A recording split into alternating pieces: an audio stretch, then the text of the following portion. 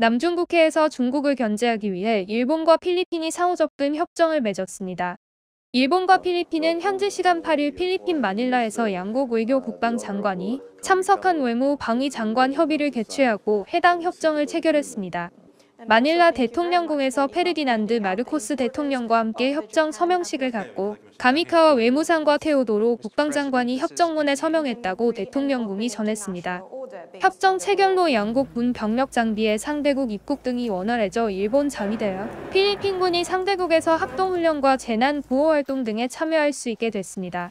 특히 일본은 그간 참관국 자격으로 동참했던 미국, 필리핀의 연례, 대규모 합동훈련인 발리카탄 등의 정식 참가국으로 참여가 가능해졌습니다.